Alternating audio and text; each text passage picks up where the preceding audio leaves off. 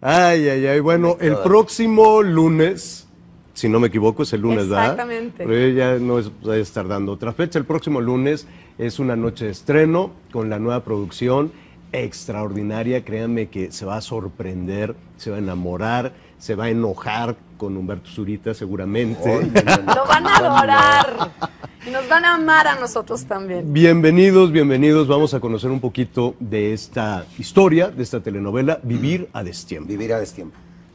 Humberto, bienvenido. Gracias. Humberto Gracias, Zurita, Gabriel. que haces el papel de Rogelio. Así es. Ya y me aprovecho contarás. por tus 19 años. Muchísimas gracias, gracias. Sí, estamos de fiesta.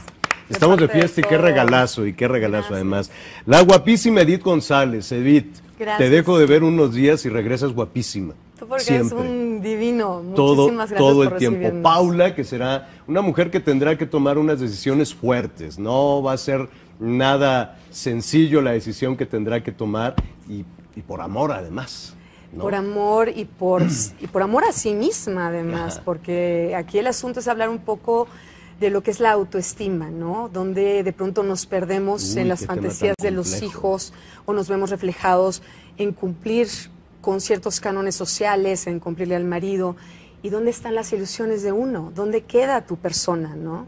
Es lo que ella difícil. tiene que perseguir a lo largo de la telenovela, su sueño, su autoestima, volverse a parar en dos pies. Créeme que muchísimas personas, eh, hombres y mujeres, ¿eh? se, van a, se van a Exactamente. identificar con Ese este- ha sido con este exactamente punto. mi punto, Javier, que no es una temática femenina, es una temática del ser humano. Exactamente. Y Ramiro Fumazoni, Correcto. tú llegarás, Alejandro, eh, pues en un momento complicado en la vida de Paula. Estoy volteando a ver porque todavía no me familiarizo mucho con los nombres. Exacto. Paula, ¿no? Llegarás en ese, en ese momento complicado en la vida de Paula. Pues sí, nos eh, reencontramos luego de casi 20 años, Ah, ya cada se uno conocía. con su vida, cada uno con su matrimonio. Y pues yo voy a tratar de luchar por los valores que tengo, ¿no? Que, que- que me dieron mis padres y mantener mi familia y ella tiene también las cosas con su familia y bueno, poco a poco se va a ir Una familia complicada la tuya. Pues complicada, sí, con el tiempo se va complicando. Una, Entonces- una esposa, porque ya investigué por ahí, una esposa un poquito, Un poquito, poquito ligera, Ligera. ¿no? Sí, alegre. ale- folclórica. Espirituosa. Eh, eh, sí, muy dada. Yo, eh, eh, Humberto, cuéntame de tu personaje. Eh, Edith platicaba un poco de lo que ocurre con ella y yo creo que tiene mucho que ver lo que ocurre con estos dos personajes porque es una historia, mira, Javier, lo, lo importante es que estamos regresando como a una telenovela clásica, Correcto. donde no hay un subgénero de policíaco, por ejemplo, que hay balazos.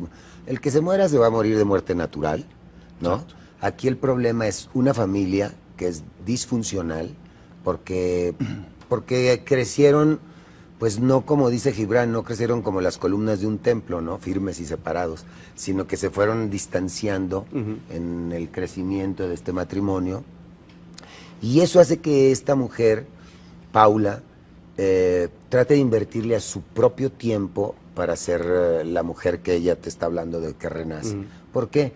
Porque Rogelio también la ha dejado atrás. Rogelio es un tipo que se siente también dejado de lado, que... O sea, habrá las razones que para va- que sea tan pesado y Pues para eh, que sea sí, tan- o sea, yo creo que el ser humano actúa, vamos, eh, William Shakespeare decía una cosa muy importante, los per- mis personajes no son buenos ni malos, actúan según sus circunstancias. Exactamente. Y eso es lo que creo que ocurre con esta historia, eso es buenísimo, porque eso hace que el público se pueda identificar.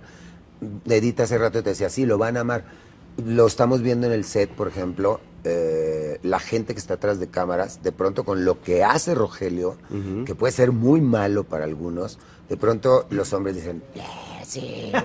Bueno, sí, pero también es que tenemos dos directores muy inteligentes, que es eh, Fabián Corres y Javier Patrón Fox. Ajá. Tenemos una productora fantástica que es Fides Velasco y un guion muy bueno por Eric Von, perdón que te interrumpa. Sí, no, no, siempre Porque interrumpes, lo que es... Así, se, así llevan todo el tiempo. Así por eso suceden. Pero lo, lo que es importante aquí es que la historia está tomando un cuerpo y una vida que no es estereotipo, somos arquetipos con los que estamos moldeando seres humanos, seres vivos cada día en la filmación. Pues allí estaremos el próximo lunes. El tiempo es muy ingrato y más y más en Es este, vivir a más en destiempo, este ¿no? noticiero. Vivir a Estamos viendo a destiempo. Nomás, rápido, Sí. rápido, tenemos un gran elenco. Está este Sánchez Navarro, está Verónica Merchan, Juan Manuel Bernal. Wendy de los Cobos.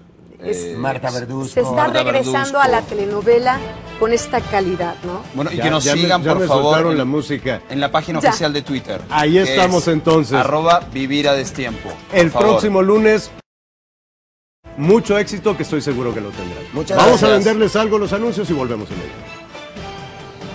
Cosa contraria.